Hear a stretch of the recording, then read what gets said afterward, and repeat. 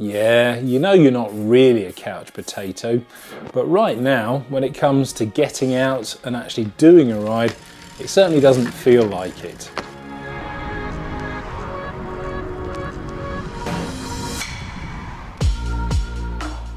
As many of you will already know, the hardest part of any ride is getting your sorry ass from here, off the sofa, out the front door, and then onto the bike. And then once you're sat on the bike and actually pedaling, you start to really enjoy it. If only you could make that process a little bit easier. Well, today I'm going to share with you five secret hacks to do exactly that.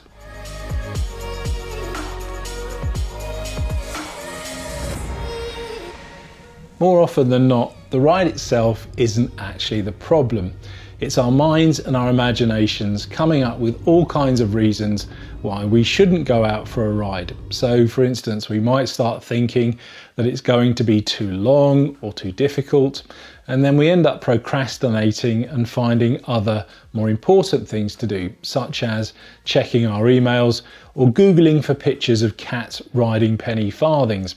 And then we put it off and we put it off, and before we know it, it's 11 o'clock at night, it's time for bed, and you haven't done your ride. But never mind, you can always do it tomorrow, and we all know how that plays out.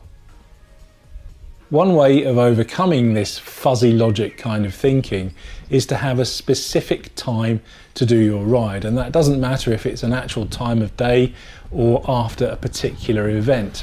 Now, a few years ago, I used to do a spinning class, and I knew that that class started at six o'clock every Tuesday evening. And if I wanted to do it, I had to be there at that time on that day. And it didn't matter how lazy or lethargic I felt, if I wasn't there, that class would start without me. And lo and behold, I used to attend most of them. And it's the same kind of thing that you need to do for your cycling. So, for instance, if you say to yourself, I will do my ride at 11 o'clock, or I will do my ride after breakfast, then the chances of you actually doing that ride increase greatly. Another obstacle that can get between you and your ride is fretting about all of the faff you need to go through before you do your ride. So for me personally, particularly at this time of the year, it's a right ball ache when I start thinking about all of the winter cycling kit that I need to wear. So to make things easy, what I've done, I've gone up and I've located all of the items of clothing that I need to wear and then I've put them in one very easy to get to convenient place. So I'm not hunting around for them when I'm trying to get dressed. And then that way, that's one less thing I need to worry about before my ride.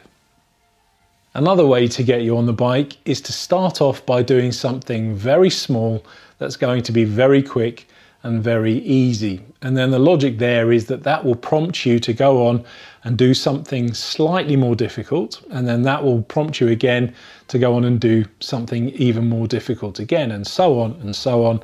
And then you go out and do your ride. So, again, using myself as an example, what I'll do is after I finish my shower in the morning, I go back into the bedroom and I will put my heart rate sensor on. And that is very, very quick and very, very easy. And usually what happens then is I think, well, okay, I'll just put my cycling shorts on. And I put those on. And then I start putting my top layers on. And before I know it, I'm fully dressed for my ride. So I'll come down, have my breakfast, and when I finished, I think, well, I'm dressed now for a ride. I might as well go out and do it. And of course, the classic reason why many people don't go out and cycle is of course the weather. But in this day and age of weather apps and meteorological websites, there's absolutely no excuse not to know what the weather's going to do. And if you can find a gap in the weather when, for instance, it's not raining, then that is the ideal time for you to go out and do your ride. Quite often, usually when we're feeling particularly lazy, the ride itself can put you off. And that's when you start thinking about how far it is or how difficult it's going to be. And what I would suggest in this instance is that you tell yourself that it's okay to go out and do just a short ride. Now, how far a short ride is, is entirely up to you. For some people, it might be 25, 30 kilometers or so. For others, it might be 10 kilometers. And again, for others, it might be as little as one kilometer. But it doesn't really matter because once you've done that minimum distance, you'll probably find that you're enjoying yourself and you want to carry on for a bit further. And it's the same kind of thing happening when you suffer from what I call direction dilemma. And that's when you're sat at home thinking about where you actually want to cycle.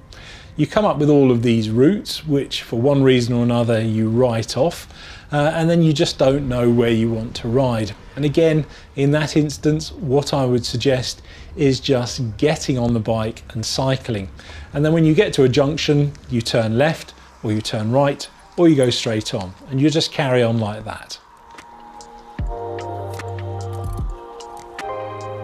At the end of the day, our unconscious mind is there to protect us from situations that it thinks are going to be painful, difficult, or unpleasant. But in many ways, it's like a child in the sense that it can't see past the short term pain and onto the long term benefit. But the good news is that if you ignore it often enough, it does become easier.